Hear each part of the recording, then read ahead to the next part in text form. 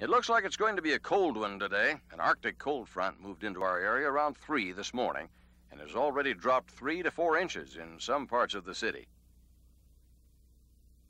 The air mass associated with this front is stable, and with all the moisture that's being pushed up from the Gulf, we're in for snow the rest of the day and possibly tomorrow. Every day, all over the world, people are dealing with the effects of the weather.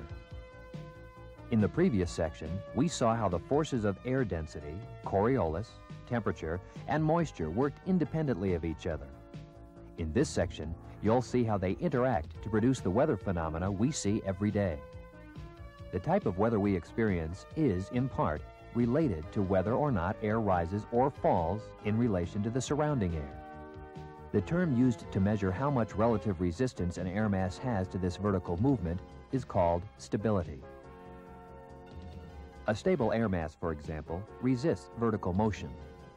This inhibits large cloud formation, heavy precipitation, and severe weather. An unstable air mass, on the other hand, has the potential for significant cloud development, turbulence, and hazardous weather.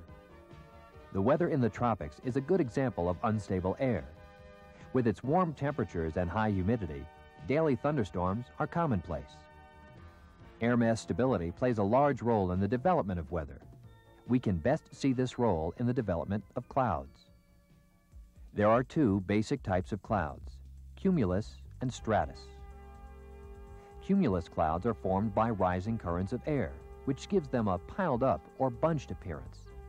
They warn of unstable air, turbulence, and showery precipitation.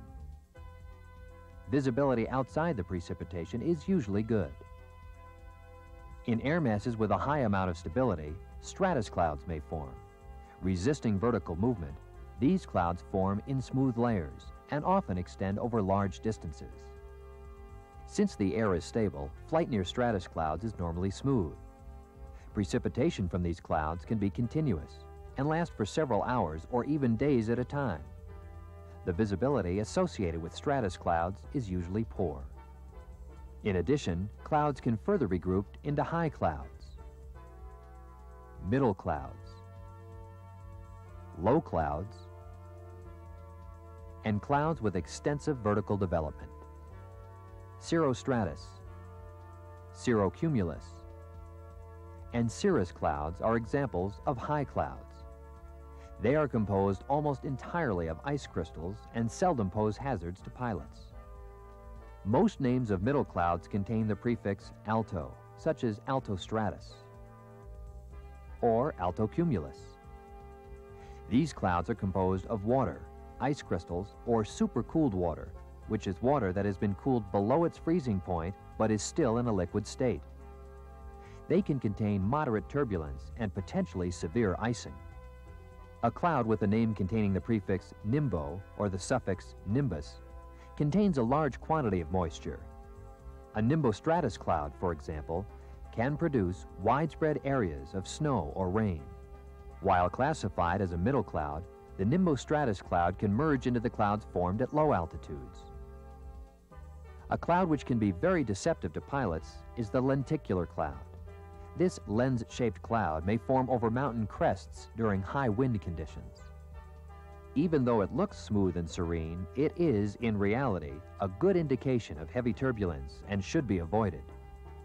The low clouds form near the surface and extend to around 6,500 feet. Clouds within this group include the stratus, stratocumulus, and fair weather cumulus clouds. The thunderstorm, or cumulonimbus cloud, is an example of a cloud with extensive vertical development.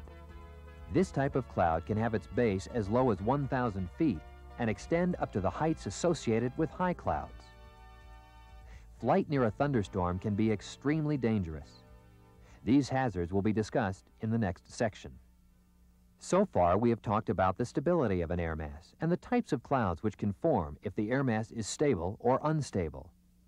But how and where do these air masses begin, and what happens to them as they move?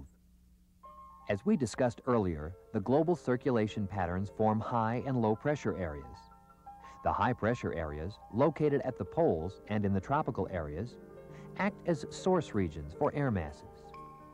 If an air mass forms over water, it is further classified as maritime.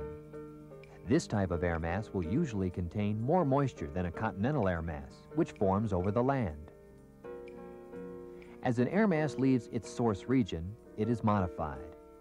The amount of modification depends on the speed of the air mass, the nature of the region over which it is traveling, and the difference in temperature between the air mass and the region.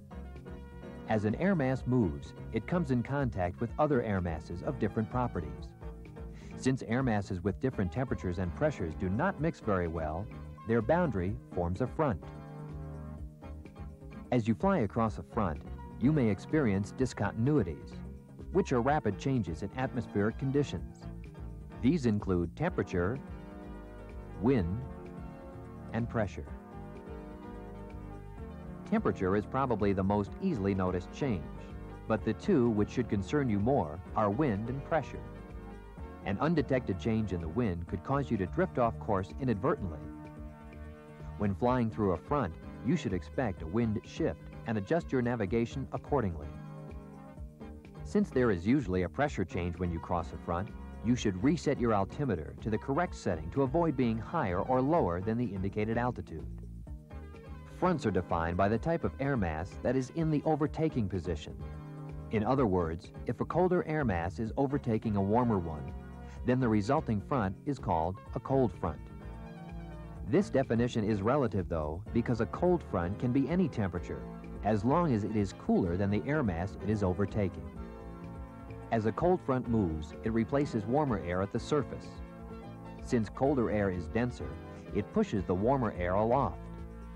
If this warmer air is relatively dry and stable, stratiform clouds form in the vicinity of the advancing cold front. If the warmer air is relatively moist and unstable, cumuliform clouds may form along the front. A rapidly moving cold front can create thunderstorms many miles ahead of the frontal boundary. A line of these thunderstorms parallel to the front is called a squall line and can contain violent weather. The thunderstorms in a squall line can grow to 65,000 feet and can be especially violent. These storms often produce heavy rain,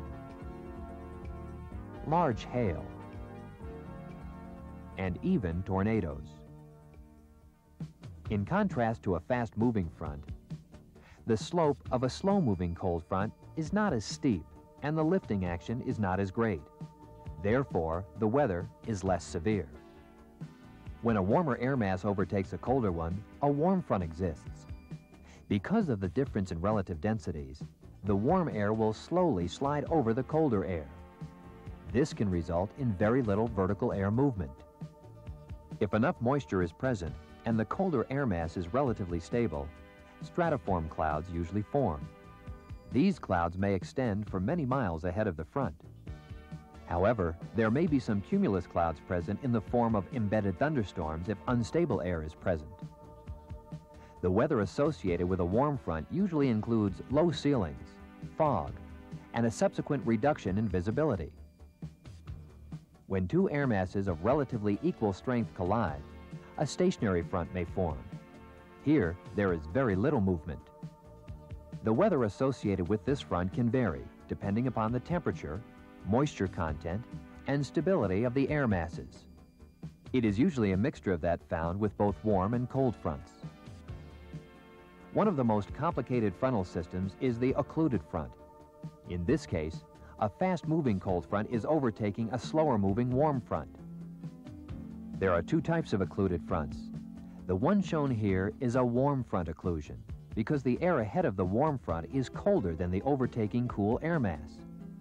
Of the two types of occlusions, this one produces the more severe weather.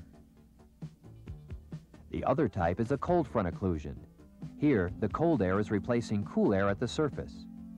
This type of occlusion generally doesn't produce weather as poor as a warm front occlusion.